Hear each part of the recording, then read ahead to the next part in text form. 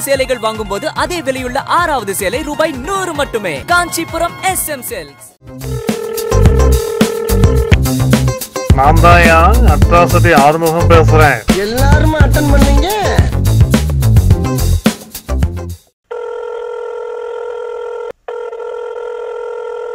என்ன சித்தப்பே? நான் மகனே திடீர்னு நம்ம கிட்ட போனே. ஒரே போர் அடிச்சு போச்சு. தம்பி கிம்பி அங்க இங்கன்னு சுத்தி சுத்தி. சென்னை பக்கம் அதுதான் காத்தடிக்குதப்ப? ஆமா சின்ன பக்கம் காத்தா சூறாவளி அடிச்சு நம்ம தான் பார்த்தோமே. அதான் பாத்துருக்க மண்டை உடைஞ்சுது சோடா பாட்டில் உருண்டுது ஒரே கல்லு பறந்துது. ஒரே கலைபுரம் ஆயிடுச்சே. வெட்டு குத்துதான் ஆ, ஒரு எல்லாம் வந்து தென் மாவட்டத்துல இருந்து இறக்குனாங்களாமே அப்படியா?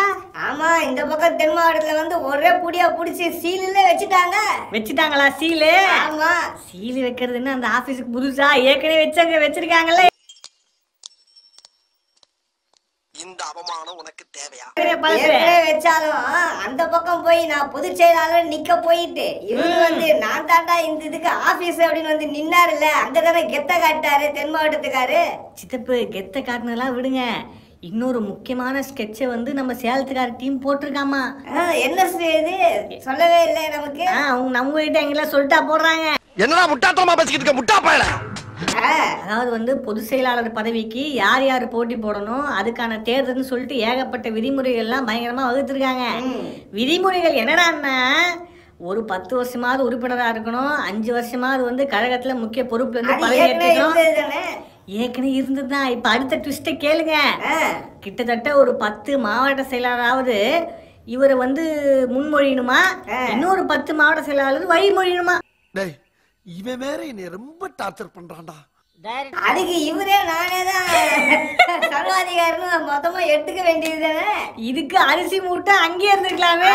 இதுக்கு பருத்தி மூட்டை பேசாம குடோன்ல இருக்கலாமே? இருக்கலாம். இவங்களுக்கு கொடுக்குற சம்பளத்துக்கு என்ன வேலை வாங்குறதுன்னே தெரியலையே. அப்படிங்கிற மாதிரி தான் வந்து இருக்கு. அதாவது ஆக மொத்தம் இருபது மாவட்ட செயலாளர்களுடைய ஆதரவு அவங்களுடைய கண்ணசைவு இல்லாம பொதுச் செயலாளர் தேர்தலில் ஒரு புது ஆள் போட்டியே போட முடியாத அளவுக்கு விதியை மாற்றி ட்விஸ்ட் பண்ணியிருக்காங்க பாருப்பா எம்ஜிஆர் காலத்தில் தொண்டர்கள் போட்டால் தான் பொதுச் செயலாளராக வர முடியும். இருந்த நிலைமை போய் இன்னைக்கு மாவட்ட செயலாளரில் வந்து நிற்கிது நாளைக்கு நாளைக்கு இப்ப நாளைக்கு வந்து அது கோர்ட்டு முடிவு பண்ணிக்கோ. அதாவது வந்து இப்பவும் வந்து தொண்டர்களால் தான் தேர்ந்தெடுக்கப்படணுமா? ஆனா அதுக்கு முன்னாடி ஒரு செக் வைக்கணும்ல. அப்படி இல்லைன்னா வந்து அங்கிருந்து கோயம்புத்தூர்ல மீசை வச்சிட்டு இருக்காரு அவர் வந்து உள்ள இறங்கிடுவாரோ? இல்ல வந்து சின்ன மம்மி திடீர்னு வந்து நான் போற நாமினேஷன் போட்டுருவாங்களோ? அதுக்கெல்லாம் ஒரு செக் வைக்கிறதுக்கு தான் கிட்டத்தட்ட இருபது மாவட்ட செயலாளர்களோட கண்ணசைவாது இருக்கணும் அப்படின்னு ஒரு முக்கியமான விதி திருத்தப்பட்டிருக்காமா? அதுக்குதான் போன வாட்டி பெட்டி பெட்டியா போச்சாமா மொத்தமா? என்னங்க பெட்டி பெட்டியா? போன வாட்டி கேள்விப்படலையா நீங்க? போன பொதுக்குழுவிலேயே நிறைய பெட்டி எல்லா மாவட்ட செயலாளருக்கும் போய் இறங்குச்சுன்னு. அதுதான் மாத்திருப்பாங்கன்னு நினைக்கிறேன். சித்தப்பு சித்தப்பு மணி பிரதர்ஸ் இந்த மணி பிரதர்ஸ் இருக்கிற இடத்துல பெட்டி இல்லைன்னா அப்புறம் என்ன மரியாதை இருக்கு அதுக்கு? இருக்கட்டும். சிஎம்முக்கு ஒரு போனை போட்டு ஆட்ட ஆட்டினா தான் இந்த சூனா பணம் யாருன்னு நாட்டுக்கு தெரியும்டா. செமிச்சிடுறேன் இருங்க. இப்படிதான் போயிட்டு இருக்கு பயங்கரமான ஸ்கெட்ச் எல்லாம் போயிட்டு இருக்காமா இதுக்கு நடுவுல போன மாசம் நடந்தது இல்லையா ஒரு புதுக்குழு. அங்க வந்து பயங்கர கலைபரமாயி வாட்டர் பாட்டில் பறந்தது என்ன வேட்டி இழுக்க ட்ரை பண்ணது என்னன்னு பயங்கரமா நடந்தது. போன வாட்டி வாட்டர் பாட்டில் இந்த வாட்டி கட்டை பறந்தது. சோடா பாட்டிலா பறந்தது. இப்படிதான் இப்ப என்ன ஆயிருக்குன்னா அந்த அங்க இருக்கார் இல்லையா அந்த மாவட்டத்துடைய திருவள்ளூர் மாவட்டத்துடைய செயலாளர் அந்த விழா ஏற்பாடு செய்யக்கூடிய மிக முக்கியமான நிர்வாகி இருக்கார் இல்லையா?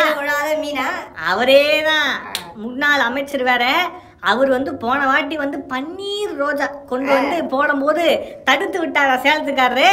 அது பயங்கரமா வந்து ட்ரெண்ட் ஆகி சர்ச்சையாகி என்னப்பா ஒரு ஒரு ஃபங்க்ஷனை வந்து ஆர்கனைஸ் பண்ண ஒருத்தருக்கே இது இப்படிதான் மரியாதை கொடுப்பீங்களான்னு சொல்லிட்டு பயங்கரமா வந்து பண்ணாங்க. செஞ்சாங்களா நெட்ல இந்த வாட்டி பிஆர் டீம் வந்து பக்காவா வந்து ஸ்கெட்ச் போட்டு முக்கியமா வந்து ராஜமானவர்லாம் பின்னாடி இருக்காராமா அதுக்கு? மீன் மாதிரி இப்ப கெத்தா நின்று போல இருக்கு இந்த வாட்டி வந்து உள்ள வந்தாரு. வந்த உடனே சேலத்துக்காரு போட்டு கட்டி பிடிக்கிறது என்ன? போஸ் கொடுக்கறது என்ன? போன வாட்டி வந்து தட்டி விட்டவர் இந்த வாட்டி கட்டி பிடிச்சிருக்காருன்னா அப்ப பிஆர் டீம் வலுவா வேலை செஞ்சிருக்கா இல்லையா? கண்டிப்பா. இப்படிதான் போயிட்டு இருக்கு ஆக மொத்தம் வந்து முன்னாடி பண்ண எந்த ஒரு தப்பையும் இந்த பொதுக்குழு கூடத்துல பண்ணக்கூடாது. ஒருத்தரையும் நான் விட மாட்டேன். என் பக்கம் வச்சுக்கிறேன். அப்படின்னு கரெக்டா இருக்காரு போல இருக்கு. கரெக்டா வந்து காய் நகர்த்தி இருக்காரு அதோட அதோட வெளிப்பாடாக தான் வந்து இப்போ நடந்து முடிஞ்சிருக்கு. அந்த பொதுக்குழு வந்து வெற்றிகரமா முடிஞ்சிருக்குங்கிற அளவுக்கு பயங்கரமா பேச ஆரம்பிச்சிட்டாங்களே இப்பவே. மொத்தத்துல பொதுச்செயலாளரா நின்னுட்டாரா? நிக்கல. தஞ்சாவூர்ல ஒரு ட்விஸ்ட் இருக்கு? சொல்லுங்க என்ன ட்விஸ்டா நம்ம சின்ன மம்மி வந்து ஏற்கனவே வந்து புரட்சி பயணம் போறேன் அப்படின்னு சொல்லிட்டு அவங்களுடைய பெல்ட் அங்க எங்கெங்கெல்லாம் இருக்கோ அங்கங்கெல்லாம் போய் சும்மா வந்து சுத்திட்டு இருக்காங்களா. போய் மாவட்டம் மாவட்டம் பாக்குறது என்னமோ வந்து சாமி தான் சாமி கோயில கும்பிடுறது தான். ஆனா வந்து இது வந்து அரசியல் பயணம். கட்சிக்காரங்க எல்லாம் பாத்துனே இருக்காங்க போல இருக்கு.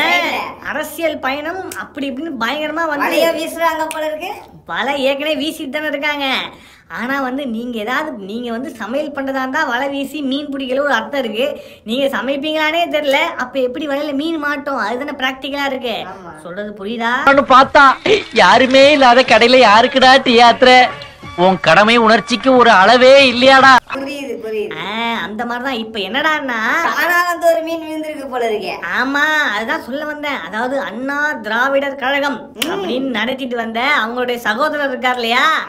அவர் வந்து இப்ப டொபிகிட்டின்னு என்னன்னா நான் வந்து எலை கட்சியில ஜாயின் பண்ண போறேன். அப்படின்னு திடீர்னு அறிவிச்சிருக்காராமா? இலை கட்சியா ஆ அங்கதான் ஒரு ட்விஸ்ட் இருக்கு. எந்த இலை கட்சி? அதாவது வந்து நீங்க நினைக்கிற மாதிரி அம்மா இலை கட்சியா? ஆ. ஐயா இலை கட்சியா? நீங்க நினைக்கிற மாதிரி சேலத்துக்காரர் தலைமையிலான இலை கட்சி கிடையாது.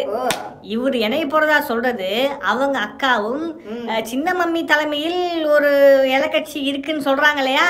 அந்த அம்மாவோட வீடு தான் கேம்ப் ஆபீஸ் ஆமா அப்படி அவங்க அப்படி அவங்க சொல்லிக்கிறாங்க. சொல்லிக்கிறாங்க. கேம்ப் ஆபீஸ் அப்ப பாருங்க இப்ப ஆபீஸும் மூடியாச்சு அப்ப கேம்ப் ஆபீஸ் மட்டும் இருக்கு போல இருக்கு. அட யாரு கைப்பற்ற போறா? அவங்க தம்பி என்ன? பண்றாரு இப்ப? தம்பி என்ன பண்ண போறா? தம்பி தான் வந்து சேருவாரா இல்ல? சேருவாராமே. அதுக்கு தானே வந்து கூட்டத்தெல்லாம் கூட்டு வராராமா? சேருவாராமா? சேர்ந்து வந்து அங்க அவங்க என்ன பண்ண போறாங்க? இதுக்கு நடுவுல வந்து நம்ம டிவி காரரை வந்து கழட்டி விடுறாங்களோ? அப்படின்னு ஒரு சில பேருக்கு சந்தேகம்லாம் வேலை கிளம்பி இருக்கு ஓ. என்ன ரூபாய் ஐநூறு முதல் ஐம்பதாயிரம் விலையுள்ள பட்டு சேலைகள் ரூபாய் நூறு மட்டுமே. ஐந்து சேலைகள் வாங்கும் போது அதே விலையுள்ள ஆறாவது சேலை ரூபாய் நூறு மட்டுமே. காஞ்சிபுரம் எஸ் எம் செல்ஸ் இந்த தேனிக்காரர் ஒரு பக்கம் சின்ன மம்மி ஒரு பக்கம் டிவிக்காரர் ஒரு பக்கம். இந்த மூணு பேரும் சேர்ந்து இருக்கு இதுக்கு நடுவுல இவங்க மூணு பேர் அடிச்சுக்கிறாங்கன்னு தெரிஞ்சுதான் இந்த சேலத்துக்காரர் பயங்கரமா விளையாடிட்டு இருக்காரு போல இருக்கே. பயங்கரமா அவரு தான் வந்து இந்த இதுல எல்லா இதுலயுமே டாப்ல இருக்காரு. இதுக்கு நடுவுல வந்து நம்ம கை கட்சிக்காரர் இருக்காரு இல்லையா? ஆல்கேட்ஸ் அவர் வர குண்டை போட்டிருக்காரு. எலக்கட்சியை வந்து பிரிப்பதுக்கு பின்னாடி வந்து ஆர்எஸ்எஸ் இருக்கு அப்படின்னு சொல்லியிருக்காரு. நீங்களா யாருடா?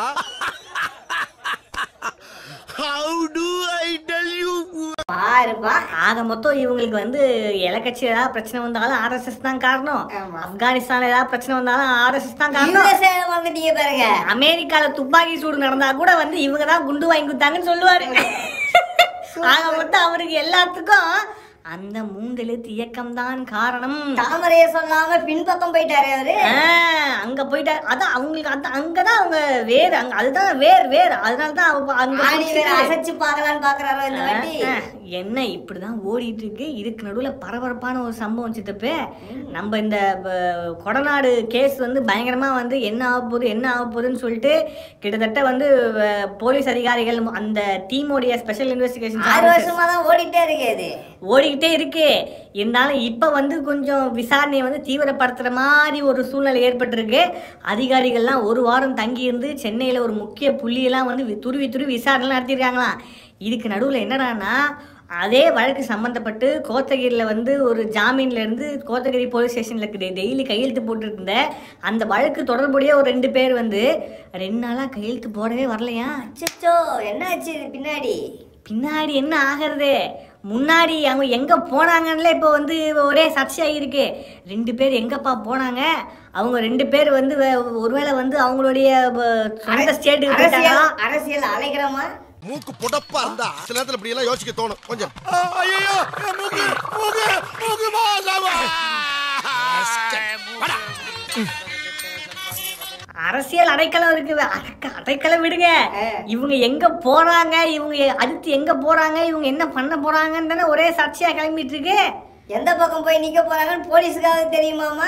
ஏற்கனவே அந்த வழக்கு சம்பந்தமா வந்து சேலத்துக்கார கூப்பிட்டு விசாரிக்கணுங்கிற அளவுக்கு அந்த ஒரு பக்கம் ஒரு புடி வந்து இருக்கிட்டு இருக்காங்க அப்படின்னா திடீர்னு ரெண்டு பேரும் இங்கே காணாமல் போயிருக்காங்க.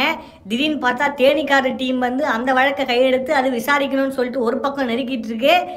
அந்த முன்னாள் பத்திரிக்கையோட ஆசிரியர் வந்தார் இல்லையா? அழகானவர். அவர் வேற வந்து இந்த கேஸை வந்து விசாரிக்கணும். அதில் மர்மம்லாம் வந்து வெளில வரணும். அது சம்மந்தமான தொடர்புடையவருக்கு இந்த சே இவர் நம்ம சேலத்துக்காரே முக்கியமான போஸ்ட்லாம் கொடுத்துருக்காருன்னு சொல்லிட்டு அவர் குண்டை போட ஆக மொத்தம் இந்த கேஸை சுற்றி சுற்றி சுற்றி சுத்தி? தெரியலையே. பூமி சுத்துதா? பூமிக்கு ஆப்போசிட்டா சுத்துதா? எப்படி சுத்துதுன்னு தெரியல. ஆனா சுத்தி சுத்தி மயங்கி கீழே விழ போதா இல்ல வேற யாராவது பாக்கெட்ல விழ போதாங்கிறதா ஒரே கேள்வியா இருக்கு. ஆனா ஊர்ல ஆணையம் சொன்னாலே முடிஞ்சு போன கதை தானே எல்லாம் பேசிட்டு இருக்காங்க. இது ஆணையம் கிடையாதுல்ல இது வந்து விசாரணை தானே? விசாரணை. அது ஆணையம் வந்து அது வேற ஆணையம். இது விசாரணை தான். எப்படியோ இது போ போ எப்படி போ போகுது? அடுத்த கட்டமா எலக்கட்சி நடக்கக்கூடிய அட்டாசிட்டிகள்லாம் என்ன? நம்ம ரவி விளையாடல் வேற ஆளுநர் வேற ஒரு புது குண்டெல்லாம் போட்டிருக்காரு. திராவிடம் சம்பந்தமா? கவனிச்சிங்களா இல்லையா? கவனிச்சானே. சொன்னதுதான் அப்படின்ட்டு அடிச்சு சொல்லிட்டாருல அதாவது இத்தனை நாளா வந்து அங்க அட்மினிஸ்ட்ரேஷனு மசோதாக்கு ஒப்புதல் கொடுக்காது உள்ளிட்ட விஷயங்கள்ல வந்து பண்ணிட்டு இருந்த ஆளுநரு இப்ப வெச்சார்ல தூக்கி அவங்களுடைய பிடிச்சாரு திராவிடம் வந்துட்டாரு. அடுத்து எங்க போய் நிக்க அடுத்து போறாரு தான். அவருக்கு தான் தெரியும். அடுத்து சமூக நீதி போயிடுவாரு போல இருக்கு. இப்படிதான் ஓடிட்டு இருக்கு இன்னும் பல விஷயங்கள் அப்டேட்ல இருக்கு சித்தப்பே. வரேன் அவங்க கிட்டே திருப்பி வரேன்.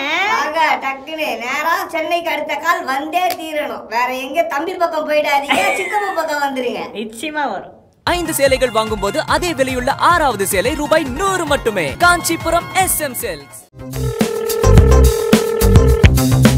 நான் தான் அட்ராசிட்டி ஆறுமுகம் பேசுறேன். எல்லாருமே அட்டன் பண்ணீங்க?